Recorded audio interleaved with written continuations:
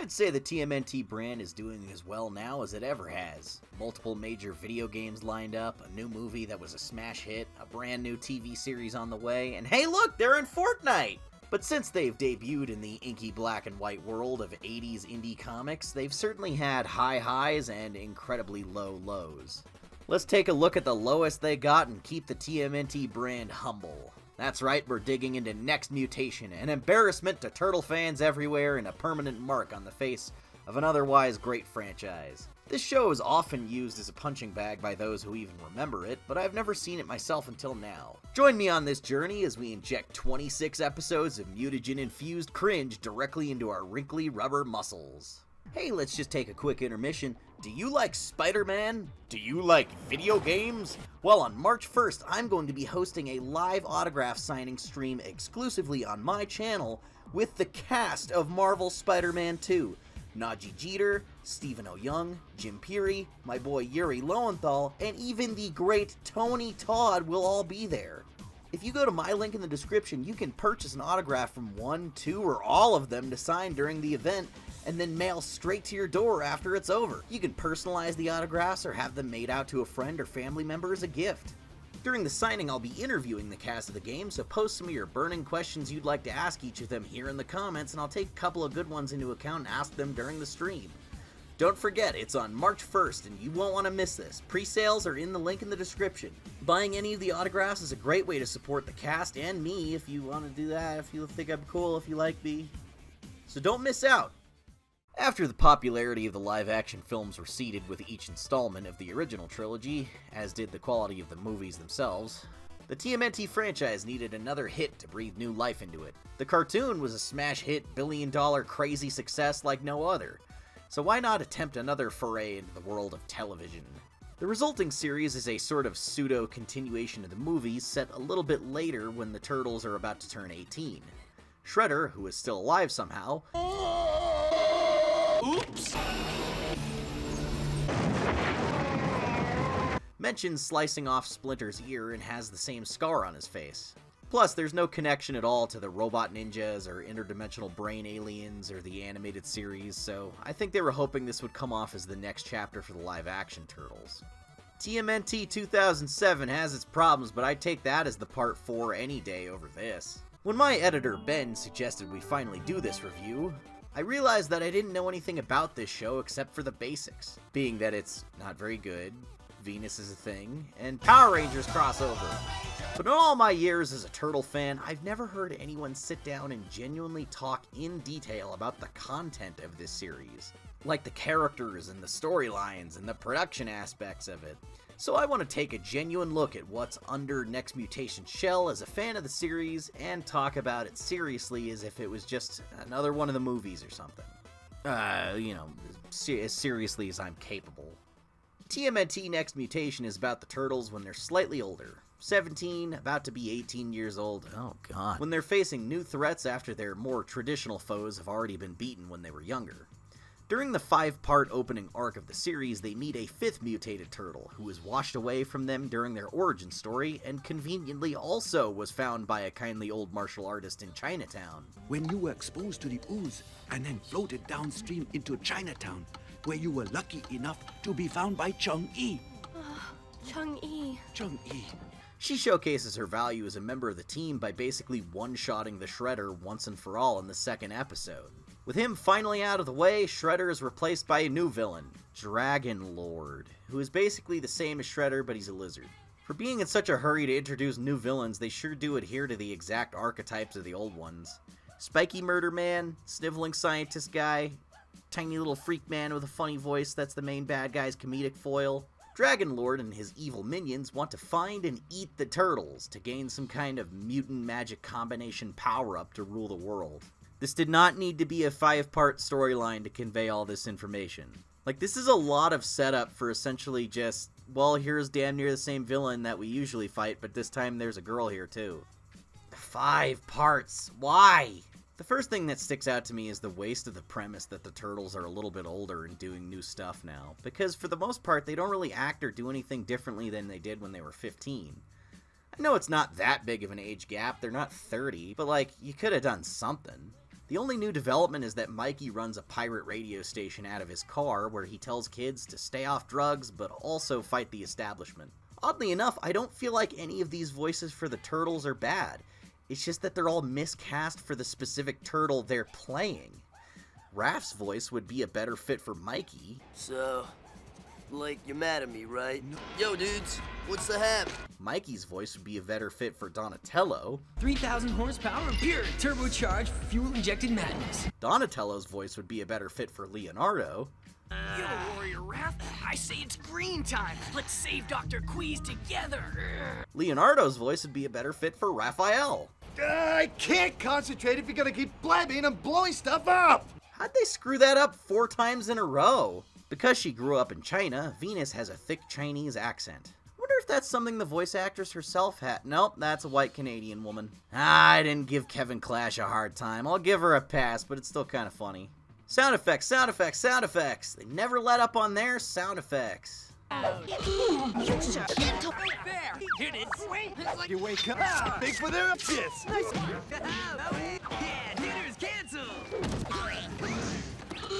While the original 1990 movie did a really solid job of selling the illusion of the mutated humanoid animals with practical effects, this gives you the feeling that you're watching Barney the dinosaur. The puppeteering and animatronics are. Uh, even for a TV budget. Jim Henson's workshop, this is not. Characters' heads look like dead eyed, slack jawed rubber helmets with flapping mandibles that never resemble the phonemes of their speech. Sometimes they go completely cross eyed. Even the characters that are clearly hand puppets don't have proper lip sync. I almost wonder if the dialogue was often changed after the fact from what they recorded on set, because it's so far off. Your mother ever tell you not to play with sharp objects?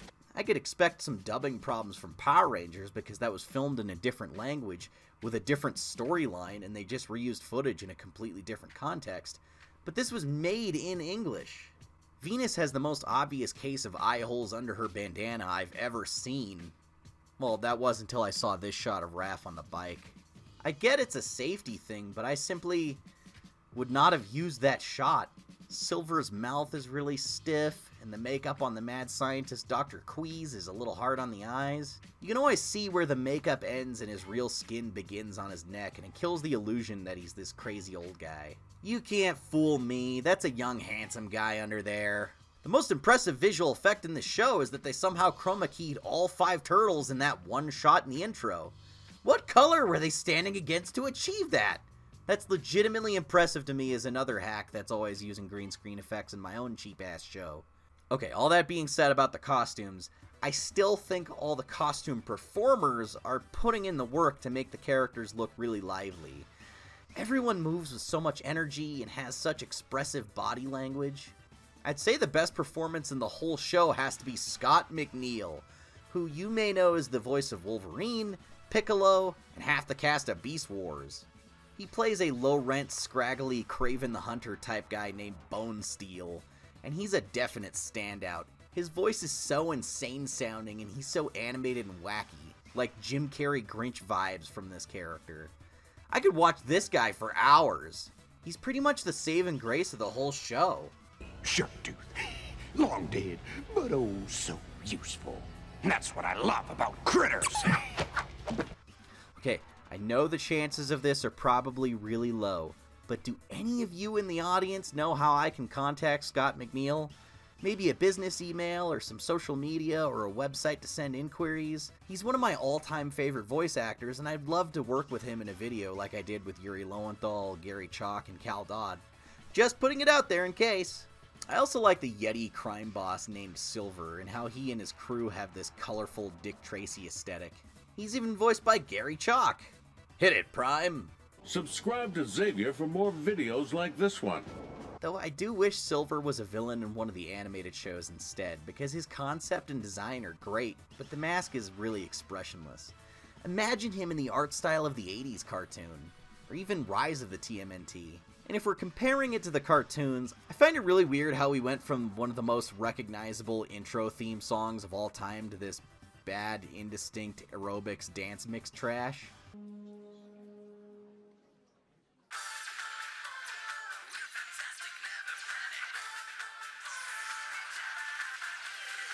For most Turtles themes, the lyrics are always about emphasizing the uniqueness of their personalities.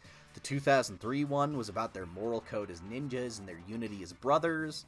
What does this song say about them? Ninjas. They're fantastic and never panic. Something about fighting until the morning? I guess it says they're brave and dedicated.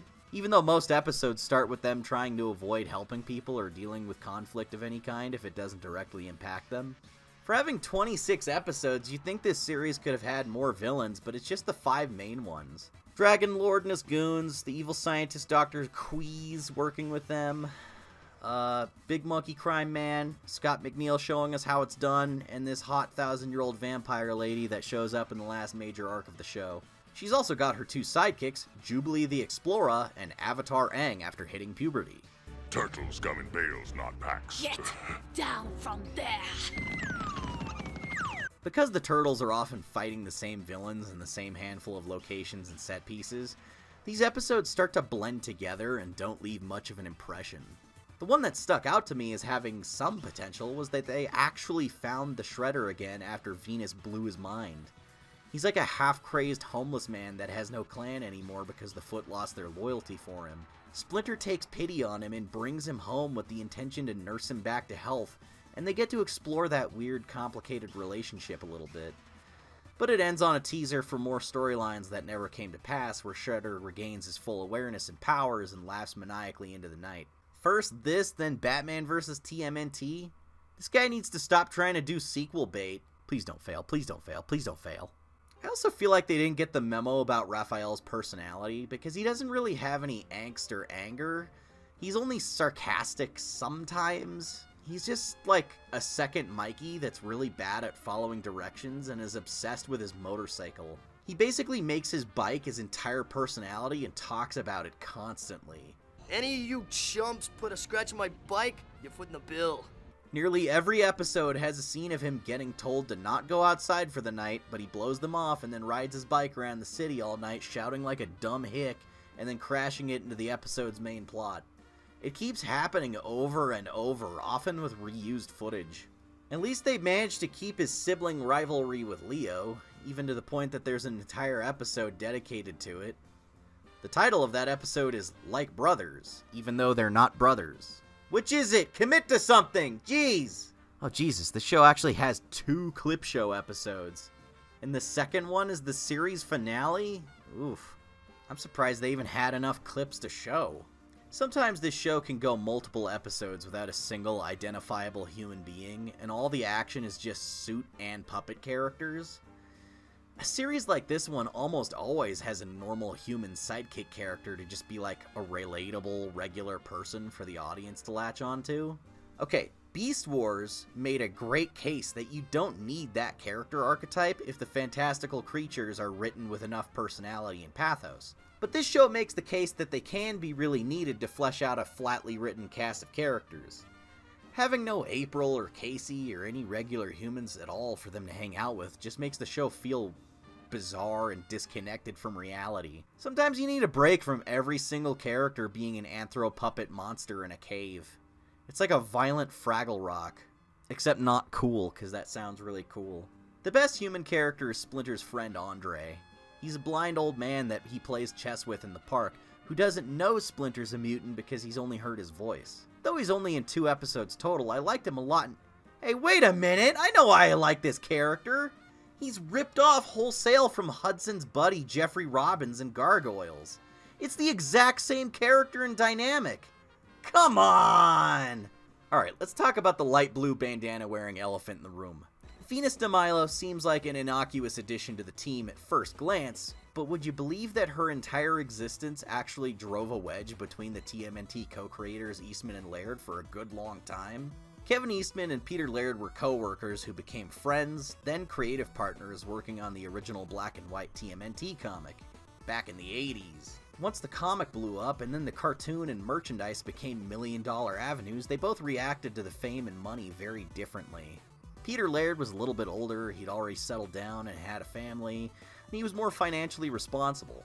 While Kevin Eastman was younger, excited to get out there and find his next big thing after the Turtles, and he bought a tank that's real, look it up. But they both initially had an agreement on one steadfast rule. No matter what, do not add a fifth Ninja Turtle. There had been this suggestion from fans why don't you add a fifth turtle? But we both always expressed the opinion that we thought it was a stupid idea. Female or otherwise. Because once you do that, the floodgates are open. It stops being a story about the bond of four brothers, and then they become more like Transformers, where there's a core cast that's always there, and then an ever expanding, infinite rotating cast of new turtle themed characters with different gimmicks being shoved in. Once you have five, why not six or seven? Or 15? And then it just loses the very basic appeal of these four tightly knit, well rounded characters. But after so many years of the Turtles' success had passed, and both of them were in a very different place in their lives, Kevin Eastman didn't feel as strongly about this rule. Nor did he feel as strongly about the franchise as a whole at the time. When the creators of the show pitched to him the idea of a female Ninja Turtle getting added, he signed off on it without Laird's consent because he just didn't think it was that big of a deal. And historically, it wasn't. But Venus de Milo became sort of a symbol of how these two guys had drifted apart over the years. They started talking less, they weren't working as closely together as they used to, and they had different opinions on the future of the brand. And Peter Laird hated this character, like so much you couldn't even joke about it to him. He was sore about it for many years.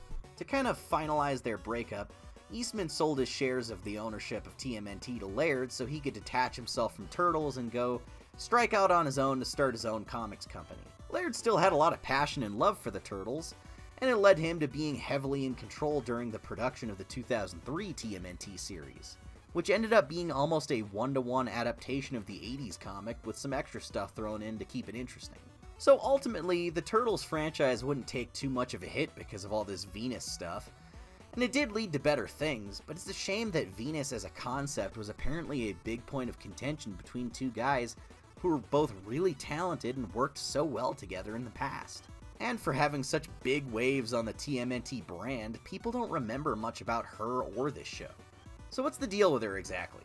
How does she fit into this team from a story standpoint? Well, not well. You're a full-fledged mutant hottie. I think I'm in love. You spare me, and I'll lead you to her. She's quite a trophy. How do I know? a girl turtle. Oh, thank you. Ah. We could make a fortune renting Venus out. I don't have my trunk, so you have to promise not to peek. Unless, of course, you can. Help yourself. Oh god, was this a Dan Harmon production? Nah, you wouldn't even add the retcon. So I am not your sister? No. Uh, you and I are just mutant boy and mutant girl. no relation. I feel like anyone who would seriously sit down and write this dialogue, making all four of the turtles completely unrelated to each other just for the sake of a potential love triangle and romance so it's not incestuous, needs to take a serious look at their life and ask what they're doing. If I could think of one of the main themes of Ninja Turtles above all else, it's brotherhood. Brothers in arms, brothers biologically, brothers in the way they act towards each other, raised together in a family like brothers. It's so baked in. It's like the most important thing, maybe? And stripping that away so Leo can awkwardly try to a female Ninja Turtle in this series aimed at five year olds is just like the most insane and horrible thing ever. What the f is it with Leonardo and this borderline incest shit? That's twice now. How much of a gooner brain do you have to be to make a shapely, quote unquote, sexy Ninja Turtle with mammalian breasts sculpted into her shell? I hate this retcon because it makes everything so weird and it all has this uncomfortable sexual tension now. Why is Leo sitting like that while Donnie polishes his sword for him? Ugh, I hate it! I'll share my chi pool with you.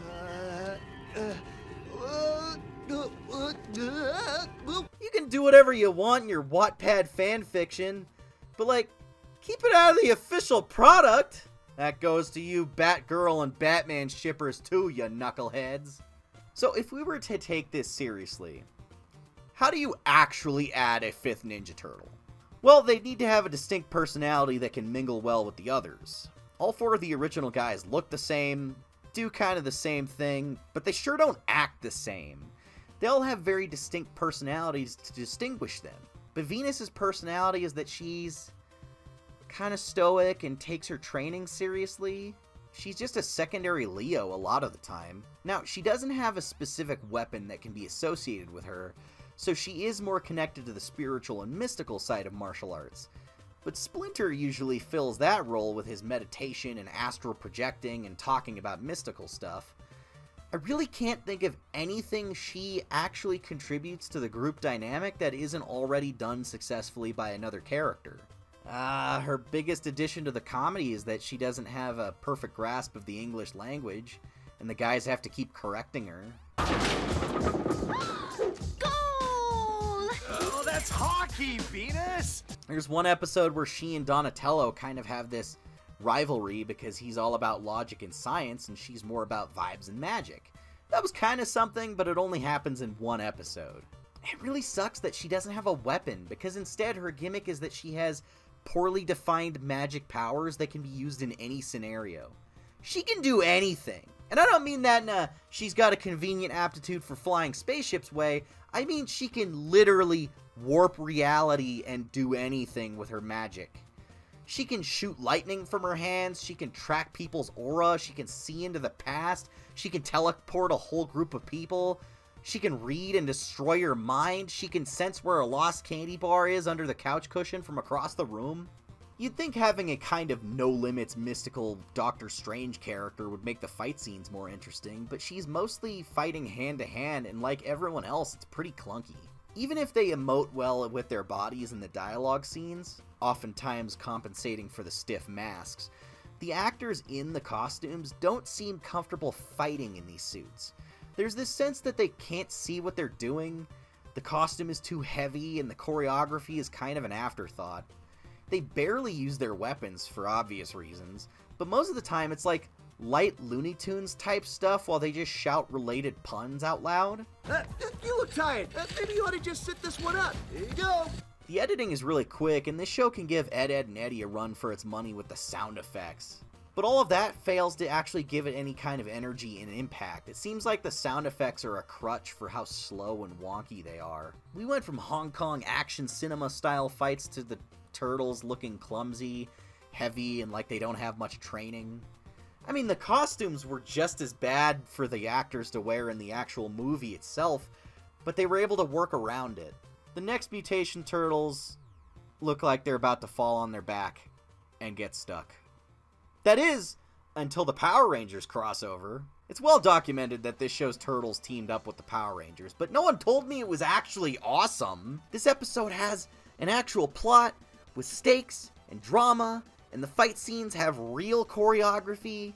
In this one, the turtles move like they're actually skilled fighters with superhuman abilities. They're jumping like 10 feet in the air, doing actual coordinated moves with each other and with the Power Rangers, and they look like they can see what they're doing. You could tell Power Rangers had a better fight coordinator or a better stunt team or something. Definitely more money to drop on the fight scenes because this is the best the next Mutation Turtles ever looked. Plus, the sets are a little bit more expensive, the lighting is more pleasant to look at, and the photography makes the suits look a little bit more flattering.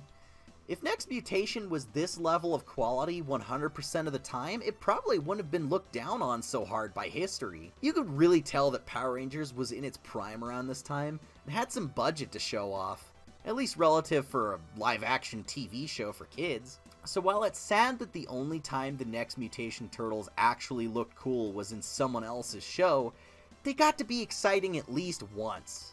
I wouldn't recommend most or or any of Next Mutation because of how low effort and low quality it is, but I'd at least recommend this one episode. And maybe someone out there could just make like a compilation of scenes of Bone Steel because those are worth watching. Next Mutation isn't a memorable or interesting show. It's full of episodes where it's kind of hard to remember what happens in them. The characters aren't developed in any meaningful way, and the action is severely lacking. It was one of the major factors in causing a divide between the TMNT's co creators, and it can generally be seen as an embarrassing mark on an otherwise spotless brand. Well, coming out of their Shells tour isn't that great either. While this series represents a sort of dark period of growing pains for the juggernaut of a franchise, none of its negative contributions were permanent, thankfully. One day, decades later, Eastman and Laird would reconnect and begin working together again on stories like The Last Ronin, which, I mean, everyone talks about that. And Kevin Eastman would come back to write the now massively successful IDW Ninja Turtles comic that's nearing its 150th issue conclusion storyline.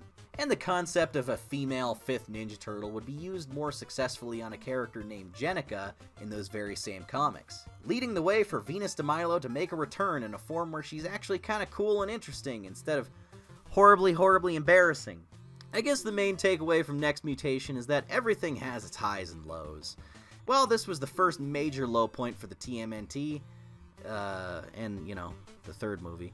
They persevered and got to some major highs after this one that made us forget they even struggled at all. Even when God turns you into a horrible, clumsy, uncoordinated mutant with rubbery skin and lockjaw, there's still a chance that you can hang out with the Power Rangers and look badass for 22 minutes, and then one day be in a funny pickle commercial. I hope that inspires you somehow.